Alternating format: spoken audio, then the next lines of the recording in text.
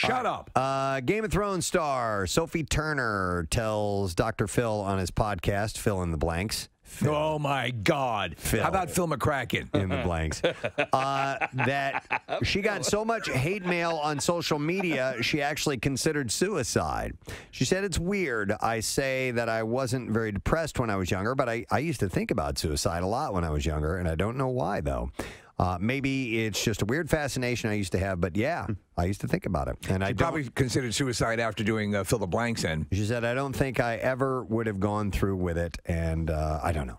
By the way, Sophie Turner on uh, Game of Thrones, as the series has progressed, she's gotten more beautiful along the way, and now because they're they're dressing her different, and she has regal, and she has more, she has a little more attitude. And May I say something? Just so gorgeously blue, and that red hair, she's stunning. I'd say the same about you.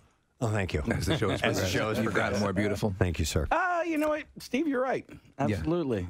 I That I've gotten I- more beautiful. You have, Thanks, man. no doubt. And then, no, no, no, no, no. Let's do one more story. Wrap it up. Okay, we'll end with this one. Uh, while Hellboy hasn't set the box office on fire, it tanked uh, with only 12 million in its opening weekend. Uh, one of its stars, Milla Jovovich, uh, is still loving it, and she shared her thoughts on social media, writing in part, "All I'm, all I'm going to say." Uh, before going to bed is this all my raddest filmed Oh Jesus, man! Why is it happening?